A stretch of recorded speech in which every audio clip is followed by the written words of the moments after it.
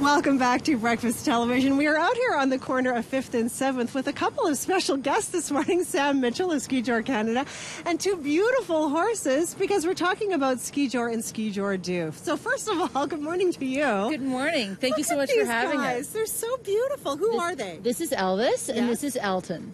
So named because they're both rock stars. They're both rock stars. Well, clearly, we can see that. So, they're here to tell us about Skijor. Can you explain what this sport actually is before we get to the event itself? Absolutely. Skijoring is a Norwegian word and it means to be pulled on skis by something. It can be a dog, it can be a horse, it can be a skidoo, it can be a motorbike. We do it cowboy style here. We do it with horses and with the rope around the horn and uh, cowboys up and skiers behind. Wow. So that doesn't sound a little bit scary at all. But what can we expect if we go out and watch something like this? Oh, you can expect the most amazing day of fun because we have four different events to showcase different levels of horsemanship and, and skiing. Uh, the horses get up to about 40, 45 kilometers an hour, 40.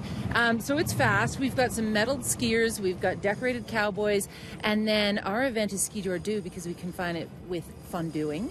Um, and we have great local craft beers, distilleries, cheese, bratwurst, and uh, it's a ridiculous mix of Euro and Western. It's such fun. Wow, that is amazing. And a ridiculous mix of fashion as well. You've outfitted me here this morning. And what is You're a the natural. Well, I'm kind of feeling it. I'm not going to lie. I kind of like it. Good it's luck. warm, which is the point, right? Yes, warm is good. It is an outdoor event, so you want to dress warm. We have grandstands this year. We have big fires, uh, fire pits outside, and heated tents. But you do want to put your base layers on and dress like a proper Canuck. Okay, there you go. Now, you have to tell me a little bit about why we have a sofa here because I'm told it's not actually a sofa. What is it? It is not a sofa. It is an alpine racing lounge.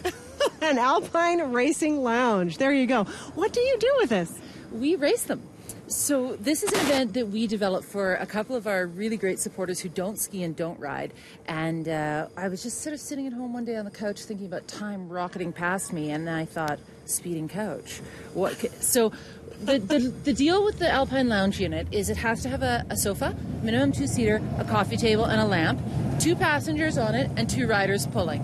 And we Calcutta auction the teams for the charity for our Prairie Skies Equine Assisted Therapy, and then we race. And the winner of the race, the the bidding, uh, sorry, the winning bidder of the winning racer gets half the pot, and the charity gets half the pot.